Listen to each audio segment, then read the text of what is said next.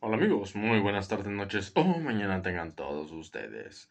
Y sí, por este video, bueno, es un poco diferente. La verdad, no voy a dar mi opinión como tal directa, sino que son tres videos que, que bueno, son opiniones resumidas porque fueron para TikTok.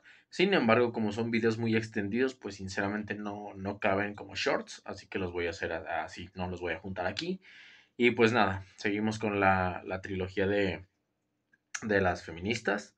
Me han pedido que hable de Ucrania y Rusia. Créanme que ya estoy elaborando el, el video, ya estoy elaborando la idea. Nada más denme un tantito chance.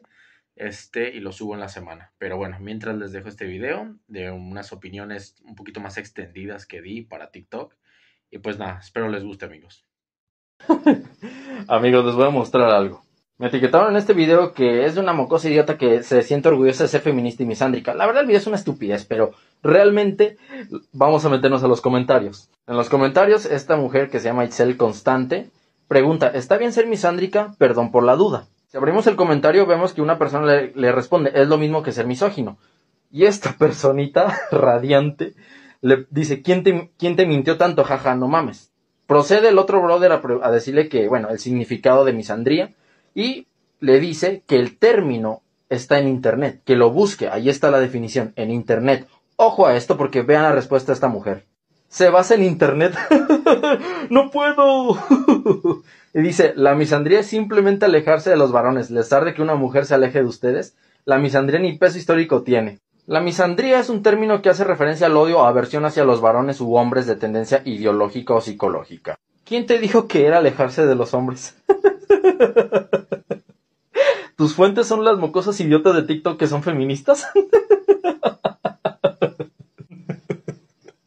ah, quisiera reírme mucho, pero la verdad es que es que hasta siento lástima, güey. O sea, neta, ¿cómo, cómo dicen las cosas con una seguridad? Y lo peor, güey. Eh, Internet no es una fuente confiable, pero sí los videos de TikTok de las feministas.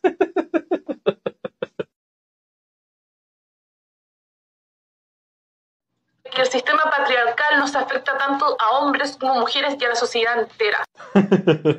Me encanta de repente las incoherencias que hay en este video. Primero que nada, ella dice que, bueno, por el conflicto de Ucrania que pasó, donde no permiten salir a los hombres y solamente resguardan a mujeres y niños, ¿esa es una ideología o eso es algo en los que afecta el sistema patriarcal? Y quiere venir a endiosar o en vanagloriar el feminismo como que es el único movimiento que está luchando por hombres y por mujeres, ahora resulta, este, eh, dándonos un ejemplo así de que el sistema patriarcal eh, afecta también a hombres que no están dentro del sistema patriarcal. Pero a ver una pinche pregunta. ¿No se supone que el sistema patriarcal está constituido por todos los hombres en general? ¿No nos siempre nos están reventando los huevos con que el pacto patriarcal entre hombres, la masculinidad hegemónica y todas esas cosas que están sacando siempre para estar desprestigiando o para culpar a los hombres de cualquier actitud que tienen? ¿Cómo es posible entonces que un sistema patriarcal que se supone beneficia a los hombres va a atacar a los mismos hombres? Es ahí donde te das cuenta que el pinche sistema patriarcal no existe, o sea, es algo que se inventan cada una desde la perspectiva que quieren y solamente se quieren excluir. De culpabilidad o irresponsabilidad de decir, no, es que las feministas también luchamos por hombres y por mujeres. Uy, Simón. Ahora, lo más triste de este video es que ella te explica una situación, pero en los comentarios te da otra totalmente diferente. Vi comentarios que decían, es que literal, los hombres empezaron la guerra, ahora que se aguanten. Hombres querían guerra, ahí está su guerra. Güey, los hombres empezaron la guerra, ¿de qué se enojan o de qué se afectan? Y lo peor es que esta mujer dice una cosa en el video y al reaccionar a este tipo de comentarios dice otra totalmente. Primero que nada, y esto de verdad a veces digo es de risa, ¿no? Los hombres no se levantaron una mañana de Rusia y dijeron todos en conjunto, ¿no? En pacto patriarcal ahí, vamos a atacar Ucrania, ¿no? Ni los hombres de Ucrania dijeron, ay, vamos a levantarnos y vamos a defendernos. No mames, o sea. La guerra la comenzaron políticos, la guerra la comenzaron representantes este, de, ese, de esos países, lo que como le quieren llamar, ¿no? Pero fue gente poderosa. Ahora yo quisiera saber realmente, el pacto o el sistema patriarcal, ¿qué chingados es? ¿El gobierno o los hombres como tal? Porque es que cada argumentación que veo siempre, siempre es diferente.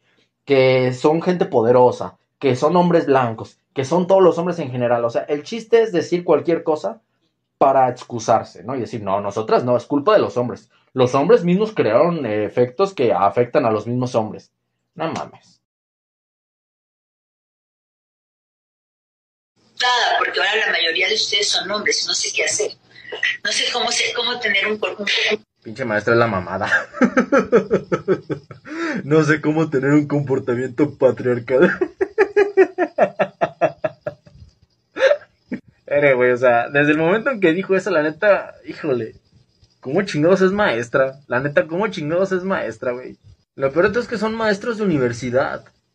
Y sí, yo sé que está más locochona eh, ya la, la, cosa en esa, a esas instancias, pero ¿cómo logran o cómo permiten que den clases a este tipo de personas? Resentidas emocionalmente porque las dos maestras que he criticado, las dos tienen un fuerte resentimiento porque alguna vez o les fue mal con su pareja, como el caso de esta maestra, o les fue mal socialmente, como el caso de la otra resentida que le hacían bullying y le echó la culpa a los hombres. ¿No están preparadas psicológicamente o no están preparadas en su persona para separar las cosas? O sea, la ideología de la profesión. Y mi pregunta es, ¿en qué manos está la pinche educación, güey? De verdad. Es que una persona ya que está creando divisiones entre hombres y mujeres y que está cuestionando, prejuzgando personas que no conoce, verga, o sea, ¿cómo, cómo, es, cómo es maestro? De verdad, ¿cómo es un profesional y de universidad?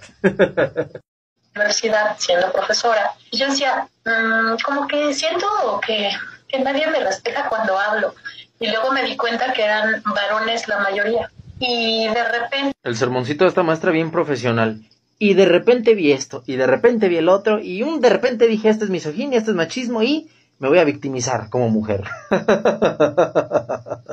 Primero que nada, esta maestra dice que sus alumnos, en su mayoría varones, no la tomaban en serio, se burlaban de ella y todo eso, ¿no? Y pues no sé en qué momento, o sea, habiendo tantas cuestiones, ella lo, lo tomó como que es que lo hacen porque soy mujer, ¿no? Cuando no, realmente eh, aquí la única cuestión es que no eres un buen maestro. Si los alumnos se burlan de ti, si los alumnos te faltan al respeto, si los alumnos no te están tomando para nada en serio, no es culpa de ellos, es culpa tuya porque no tienes el carácter ni tienes la decisión para este poner un orden y darte a respetar como maestro. Y güey, en universidad, por Dios, o sea. Pero como ahora todo el mundo se quiere ir por el camino fácil, pues bueno, aquí qué podemos hacer es que soy mujer. No me valoran porque soy mujer. No me respetan porque soy mujer, ¿no? Me voy a victimizar y voy a decir que mis alumnos este, me detestan por ser mujer, ¿no? Y por eso estoy sufriendo esa misoginia y ese machismo en mi profesión. Yo me pregunto, ¿esta maestra de universidad está preparada profesionalmente y mentalmente, sobre todo, para dar clases? Porque hoy en día el camino fácil es echarle la culpa a todo mundo y no aceptar sus errores. ¿Cuáles son los errores? Que no soy una maestra profesional y que no tengo el carácter para lograr imponerme sobre un grupo de alumnos.